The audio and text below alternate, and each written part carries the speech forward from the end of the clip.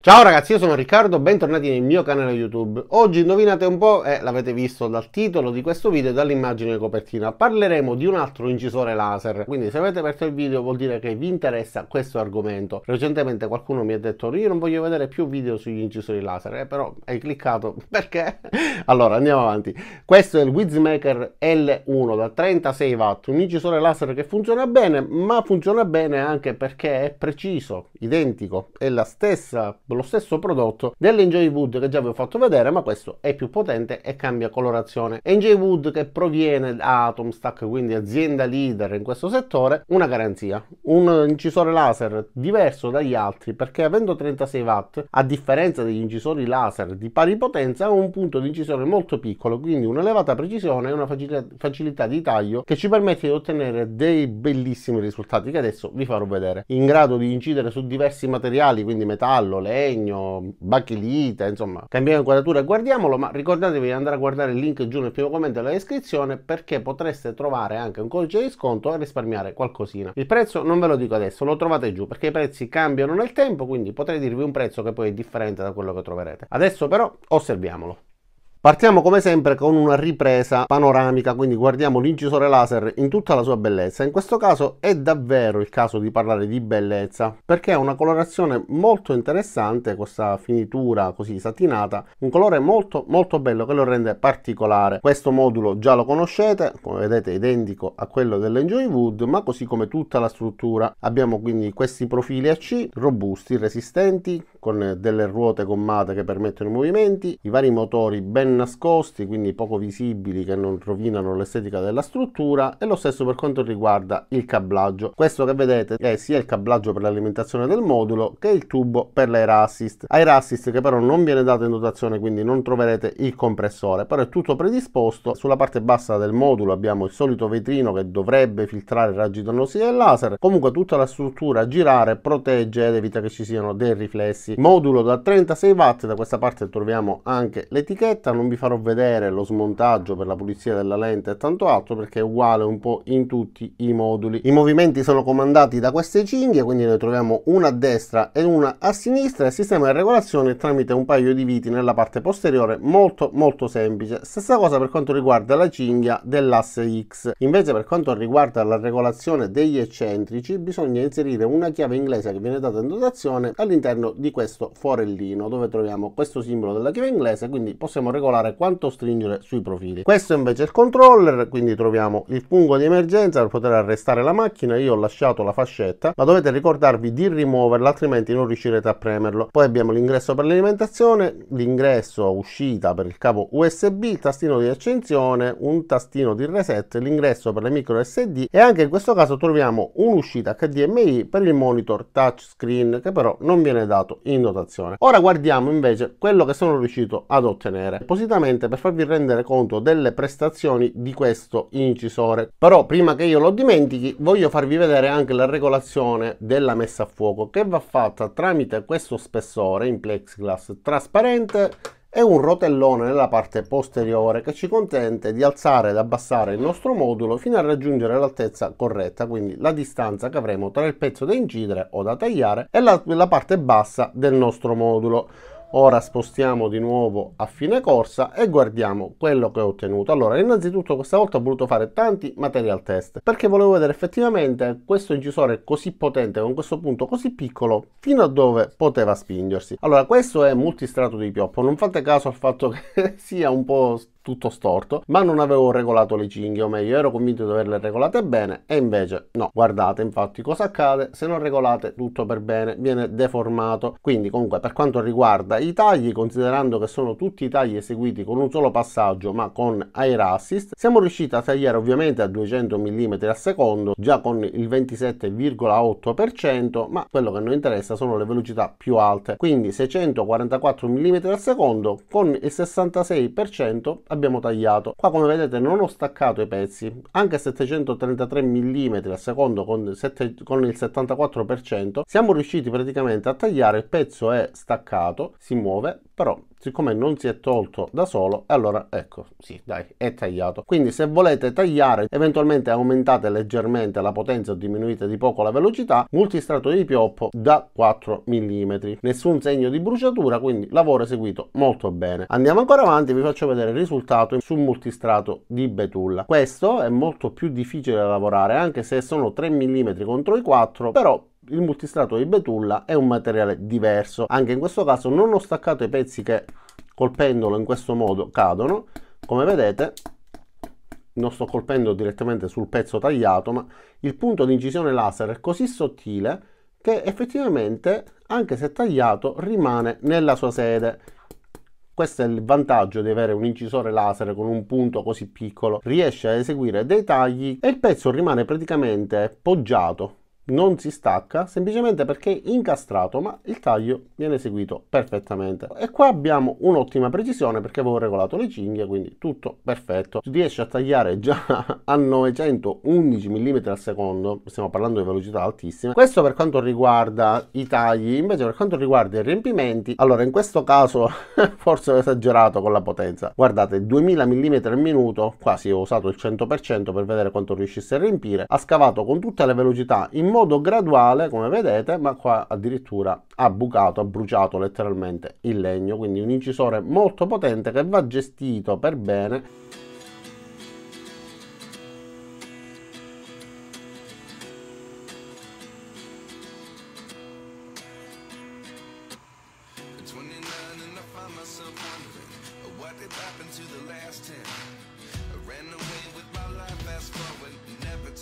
e in base a questi parametri poi ho eseguito anche queste incisioni. È una foto scelta appositamente. Casualmente io e mio figlio avevamo l'abbigliamento di colore nero sia sui pantaloni che sulla maglietta. E quindi ho deciso di stampare di incidere questa foto per vedere come si comportasse. Essendo contro luce quindi con il cielo molto luminoso con tutto lo sfondo bianco e vedere come riuscisse a gestire le ombreggiature. Ragazzi per me nulla da ridire. La foto è leggermente sottoesposta come vedete i visi sono in ombra ma è riuscita a rispettare fare tutte le ombreggiature sul braccio, sulle scarpe, il riflesso della luce sulla punta della scarpa, la sfumatura sulla ringhiera, l'asfalto, questo pezzo di macchina si vede il cerchione con tutti i vari dettagli, tutti i vari dettagli della parte in fondo di questo palazzo, davvero molto molto dettagliato, sono rimasto stupito della qualità di incisione, perché è un punto molto piccolo, quindi riesce a darci queste prestazioni. Questa invece sulla bachelite, in questo caso non è riuscito ad incidere tutte le sfumature, però è riuscito a farci distinguere ancora meglio alcune parti. Guardate il bordino della scarpa la cucitura del pantalone. Non ha fatto le ombreggiature del braccio ma la bakelite è difficile da incidere. Però anche in questo caso molto dettagliato pure qua il cerchione della ruota che era distante però abbiamo perso la sfumatura sulla ringhiera. Stessa foto stesse impostazioni però risultato differente. Ma abbiamo anche le foglioline della palma in fondo. Insomma un incisore che riesce a darci questi risultati per me è un incisore di buona qualità. Gestione delle ombre gestione dei colori davvero eccezionale. Ovviamente per ognuno di questi lavori vi metterò le riprese dettagliate e anche qualche time lapse.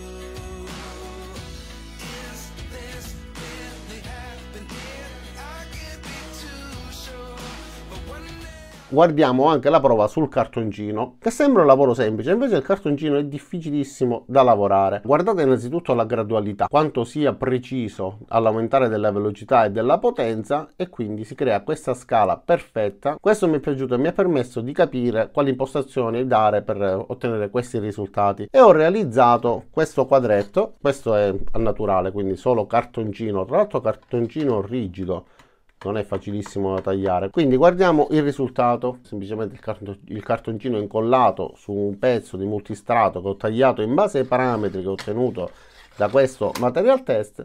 Quindi stesso multistrato di pioppo da 4 mm e qua ho ottenuto questo risultato con l'effetto naturale. Qua invece ho voluto fare la stessa prova dipingendo di nero il pannellino e poi incollando il cartoncino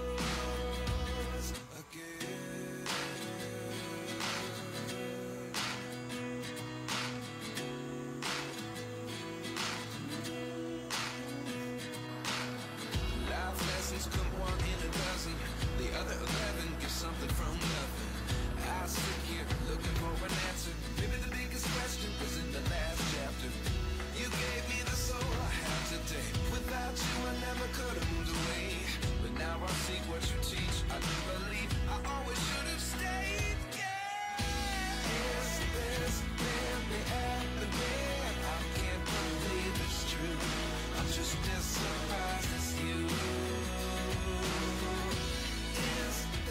Un bel risultato ma guardiamo qualche altro lavoro. Per esempio questo è pelle. Ho inciso sulla pelle il logo Jeep e da questa parte invece sul legno. Pure in questo caso ottimo risultato sia per quanto riguarda l'incisione che per quanto riguarda il taglio nella parte posteriore. È identico ma da quest'altra parte ho voluto fare la scritta semplicemente con la linea quindi bellissimo risultato anche sulla pelle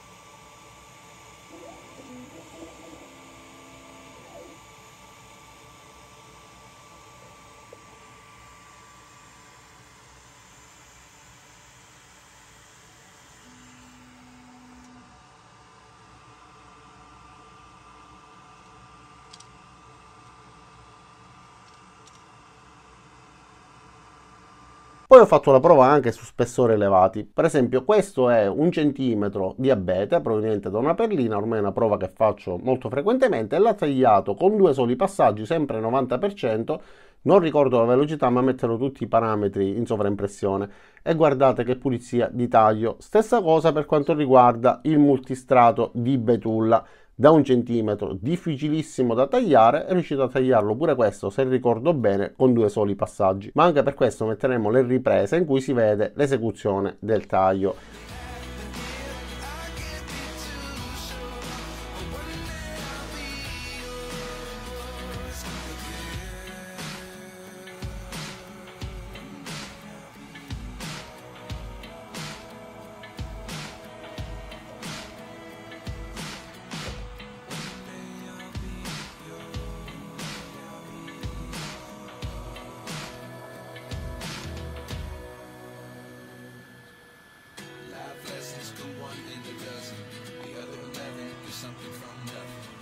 Ora passiamo invece a questo, quindi l'incisione sul metallo. Guardate che bella incisione di questo tribale, nerissimo, incisione vera e propria. Allora, passato alcol, l'ho lavato, si vede che è pulito, è stato strofinato e l'incisione non si rimuove assolutamente. Ovviamente in base a come lo guardate cambia tonalità, però vedete un'incisione nerissima fatta davvero molto bene. Mi è piaciuta tantissimo quindi un'incisione netta fatta tra l'altro velocemente. Quindi anche per questo metterò tutti i parametri in sovraimpressione. Ma guardate che bel risultato immagine nettissima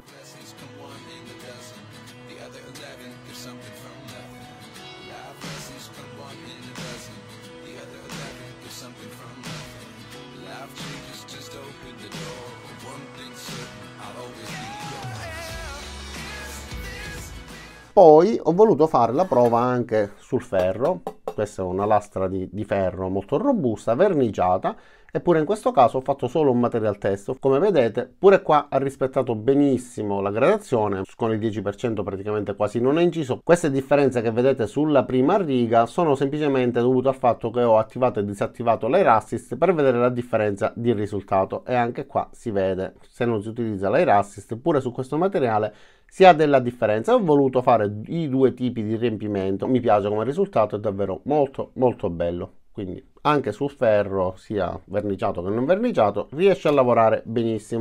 Come sempre diamo un'occhiata anche al sito del venditore, quindi vediamo le varie immagini, le diverse opzioni di acquisto, quindi in questo caso vedete quello di colore grigio, ma è possibile comprarlo anche della colorazione che vi ho appena fatto vedere. Qua abbiamo le caratteristiche tecniche, quindi 36 watt, il punto di incisione laser davvero piccolo, molto piccolo, mai visto un punto così piccolo in queste potenze, quindi 0,06 x 0,08. La velocità di spostamento è di 24.000 mm al minuto al massimo e l'area di lavoro invece 400 x 400 con una precisione di 0,01 mm. Ovviamente è compatibile sia con Light Barn che con laser GRBL, è possibile utilizzare diversi accessori, per esempio il rotary eccetera, poi abbiamo diversi formati, sono praticamente sempre gli stessi e i materiali che si possono lavorare, quindi legno, carta, pelle, eccetera, eccetera.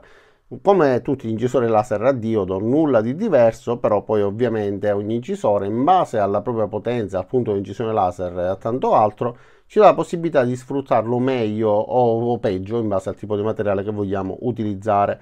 Questa è un'immagine che rappresenta la parte interna del nostro modulo, quindi abbiamo 6 moduli da 6 watt, 36 watt in totale, ma in uscita non avremo mai questa potenza qualcosina si perde, diciamo, solitamente sono attorno ai 30-33 watt, che già comunque è un'ottima potenza. Andiamo ancora avanti, più giù vediamo qualche altra informazione e quest'altra immagine che fa vedere per esempio la differenza di spessore della linea tra gli altri incisori laser di pari potenza che solitamente sono attorno a 0,1-0,12 e questa che è 0,06 per 0,08 la differenza effettivamente c'è e si vede. E poi sul metallo si possono ottenere anche delle tonalità di colore come vi ho fatto vedere anche con altre recensioni in base alla potenza alla velocità e all'interlinea. Però è una prova un pochettino lunga che ho preferito non fare questa volta ma un incisore di questa potenza riesce senza nessun problema. Ovviamente l'incisore gode anche di tante certificazioni, quindi sul sito troverete tutte le varie informazioni al riguardo e sulla parte bassa del sito troviamo le varie recensioni e i commenti degli acquirenti. Quindi probabilmente molti di voi si chiederanno ma perché un incisore laser così potente con un punto così piccolo? Perché con altri incisori laser che abbiano un punto più elevato non riuscirete mai e poi mai ad avere questa precisione. Questa è la precisione che si ottiene con un incisore laser meno potente da 5 a 10 watt, ma in questo caso l'avrete su 36 watt con una velocità molto più elevata. Per fare questa foto bisogna impiegare 5-6 volte in più di tempo rispetto a quello che si impiega con questo incisore. Invece se volete ottenere questo risultato con qualunque incisore riuscite a ottenerlo, il punto laser in questo caso non ha importanza. Nel caso in cui vogliate fare invece un portachiavi come questo, Ragazzi, una linea così fine si può ottenere solo con un incisore laser che abbia un punto così fine. Invece per il riempimento non avreste problemi con incisori laser che non hanno queste caratteristiche. Per me è ideale, anche se per spessori molto elevati, dato che il punto è molto piccolo, la messa a fuoco si perde facilmente e quindi se volete tagliare spessori elevati allora dovrete fare molti più passaggi e la parte finale allora si può bruciacchiare. Ma se volete tagliare fino a 10 mm riuscite a farlo senza problemi con una buona velocità e con dei risultati apprezzabilissimi davvero interessanti perché non abbiamo per niente bruciatura e abbiamo un taglio che viene eseguito velocemente in modo pulito.